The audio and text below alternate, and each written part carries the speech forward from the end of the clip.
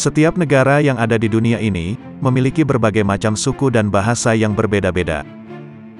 Ada beberapa suku di suatu negara yang sengaja diperkenalkan dengan dunia luar dan ada juga beberapa suku yang memang sengaja diisolasi dan dibiarkan terasingkan dari kehidupan luar.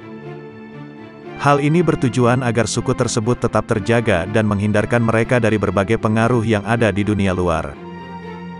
Di sisi lain, negara-negara tempat mereka bernaung juga sadar bahwa kehadiran orang-orang asing justru akan membahayakan keberadaan mereka. Selain itu, Orang asing yang datang juga bisa menularkan flu atau penyakit-penyakit lainnya yang masih asing di kehidupan suku-suku tersebut. Dan ini adalah rangkuman suku paling terasing di dunia yang tidak ingin berevolusi versi Gaza Media. Eh, cuma mau ingetin nih saudara, sebelum masuk video selanjutnya, jangan lupa subscribe channel ini dan aktifkan lonceng notifikasinya saudara, agar kalian tidak ketinggalan video menarik selanjutnya dari Gaza Media. Cikidot. Suku Sentinel Sejauh ini, suku Sentinel yang tinggal di Pulau Sentinel Utara, India memang dikenal sebagai suku yang tidak ingin berkontak langsung dengan dunia luar. Bahkan, siapa pun yang berusaha mendekat ke wilayah pulau tersebut akan langsung dihujani panah oleh suku Sentinel. Diketahui, bahwa sebagian besar informasi tentang suku Sentinel hanya didapat dari pengamatan yang dilakukan dari kapal yang berada di jarak yang cukup jauh dari jangkauan anak panah suku tersebut. Saat ini, pemerintah India tidak memasukkan suku Sentinel dalam sensus penduduk yang biasa dilakukan untuk menghitung jumlah penduduk pada suatu wilayah. Selain itu, hukum di India juga tidak mengizinkan siapa pun untuk memasuki teritori suku Sentinel. Hal ini disebabkan, karena suku tersebut hidup tanpa vaksin sama sekali dan mereka rentan tertular penyakit umum seperti flu atau diare. Oleh sebab itu, suku Sentinel dianggap dan diakui dunia sebagai salah satu suku paling terisolasi dari dunia luar. Suku Masko Piro The Masko Piro atau Masco Piro, juga dikenal sebagai orang Cujareno dan Nomol, adalah suku asli pemburu dan pengumpul nomaden yang mendiami sebuah daerah terpencil di wilayah hutan hujan Amazon. Diketahui, bahwa suku tersebut tinggal di Taman Nasional Manu di wilayah Madre de Dios di Peru. Keberadaan suku Maskopiro ini pertama kali direkam oleh seorang turis yang melintas di perairan Sungai Manu, di Peru. Turis yang mengambil gambar tersebut tidak mengetahui bahwa dirinya telah berhasil mendokumentasikan suku Mascopico yang sulit untuk ditemukan. Hasil rekaman tersebut kemudian diketahui oleh pemerintah setempat dan berupaya melakukan ekspedisi untuk mencari suku tersebut. Alih-alih melakukan kontak dengan suku Maskopiko, pemandu yang membimbing mereka malah dibunuh menggunakan panah beracun. Sehingga sejak saat itu, pemerintah setempat menghindari kontak langsung dengan suku tersebut.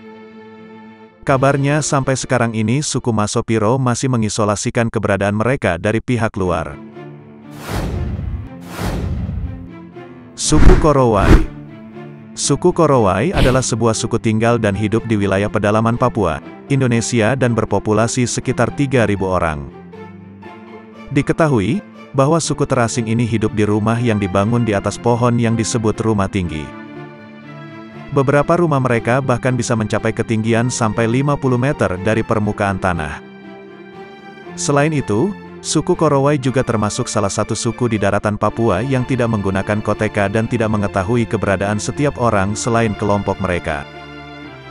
Oleh karena itu, suku ini merupakan salah satu suku paling terisolasi dari dunia luar. Suku Ruk Orang, Orang atau suku Ruk adalah kelompok subetnis dari etnis Cut yang ada di Vietnam dan merupakan suku pemburu dan pengumpul, yang tinggal di gua-gua di Provinsi Quang Binh bagian timur. Diketahui, bahwa suku ini pertama kali ditemui oleh tentara Vietnam Utara selama Perang Vietnam saat tengah melakukan patroli. Saat itu, suku ini terlihat seperti sekelompok orang hutan yang sangat malu-malu dan dalam keadaan telanjang. Setelah berbulan-bulan mendekati mereka, para penjaga akhirnya berhasil membujuk suku Ruk untuk meninggalkan gua dan menetap di lembah Ruklan. Sejauh ini, orang-orang Ruk masuk ke dalam daftar suku paling tidak dikenal di dunia karena mereka mengisolasi diri dari dunia luar. Sebelum meninggalkan gua, suku ini hidup dengan berburu, baik pria maupun wanita mengikat rambut mereka ke belakang, menutupi tubuh mereka dengan sejenis kulit binatang dan tidur sambil duduk. Suku Totobiegosode Suku Totobiegosode atau Ayoreo Totobiegosode yang jika diartikan orang-orang dari tempat babi liar, adalah sebuah suku yang tinggal di area hutan liar yang dikenal sebagai Chaco. Menurut laporan, suku ini pertama kali melakukan kontak dengan masyarakat modern pada tahun 1940-an. Setelah itu, mereka terpaksa meninggalkan hutan dan mulai tinggal sebagai penduduk yang berpindah-pindah tempat di dalam hutan. Saat ini, pihak PBB memerintahkan pemerintah Paraguay untuk melindungi suku tersebut yang terancam oleh deforestasi. Diketahui, bahwa suku ini tinggal di daerah yang dikelilingi oleh sungai Paraguay, Pilcomayo, Parapeti, dan Grande, yang membentang di Bolivia dan Paraguay. Hingga saat ini, suku Totobiogosode adalah salah satu suku paling terisolasi dari dunia luar. Suku New Guinea Penduduk asli New Guinea atau biasa disebut orang Papua, adalah orang Melanesia. Secara linguistik, orang Papua berbicara bahasa dari banyak rumpun bahasa non-Austronesia yang hanya ditemukan di New Guinea dan pulau-pulau tetangga. Karena medan yang sulit dan belum dipetakan, karakter orang-orang dari suku ini tidak diketahui. Sebuah laporan menyatakan, bahwa suku di pedesaan New Guinea atau Nugini masih menganut kanibalisme. Misalnya yang terjadi pada Michael Rockefeller pada tahun 1961, ia diperintahkan untuk menemukan beberapa suku yang hilang di wilayah tersebut. Alih-alih menemukan suku yang hilang, Rockefeller yang berdarah Amerika justru terpisah dari kelompoknya dan diperkirakan telah ditangkap dan dimakan oleh suku tersebut. Hingga saat ini, suku yang ada di New Guinea dianggap sebagai salah satu suku paling terisolasi dari dunia luar.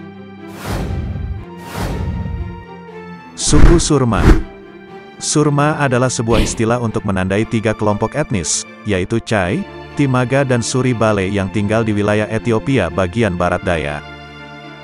Selama bertahun-tahun suku atau kelompok ini selalu menghindari kontak dengan budaya barat. Meski saat ini orang-orang barat sudah mengenal bibir piring yang menjadi ciri khas dari mereka, namun bangsa Surma tetap tidak ingin berhubungan dengan bangsa barat. Bangsa Surma sendiri hidup secara berkelompok dan kelangsungan hidup mereka bergantung pada peternakan.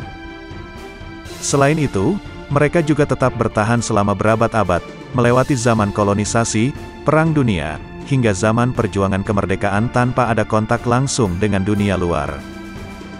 Oleh sebab itu, suku ini menjadi salah satu suku paling terisolasi dari dunia luar.